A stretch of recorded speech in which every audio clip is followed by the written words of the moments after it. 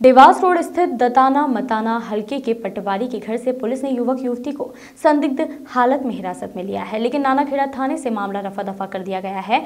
पटवारी Indore DIG Chandrashekhar Solanki के छोटे भाई हैं, जिसके चलते पुलिस कार्यवाही पर सवालिया निशान खड़े हो रहे हैं।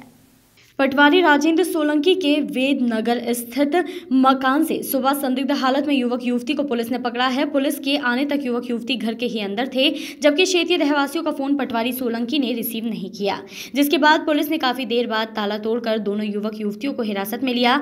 सूत्रों से मिली जानकारी के अनुसार जिस समय पुलिस दोनों युवक युवतियों को थाने ले जा रही थी, इसी दौरान क्षेत्रीय रहवासी की पटवारी के बेटे से धक्का मुक्की भी हुई थी।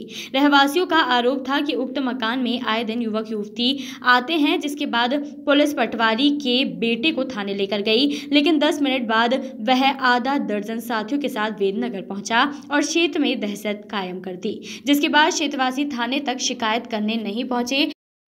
नानाखेड़ा थाने में पूरे मामले को रफा दफ़ा कर दिया गया। घटनास्थल पर पहुँची पुलिस कुछ ही देर बाद पटवारी का पक्ष लेते दिखाई दी। शिकायतकर्ता के अभाव में पुलिस ने कार्यवाही नहीं करने की बात कही। दोपहर बाद दोनों युवक युवतियों को पुलिस ने घर बेचते हुए क्लीन चिट दे दी, जिसके चलते पुलिसिया कार्यवाही पर सवालिया निशान लग रहे हैं। सूत्रों से मिली जानकारी के अनुसार युवक और साथी वेदनगर में रहने वाले उस व्रत के घर पर पहुँच गए थे, जिसे सबसे ज़्यादा आपत्ति थी, जिसके बाद डरे सहमे व्रत ने शिकायत करने से इनकार कर दिया और थाने नहीं गए।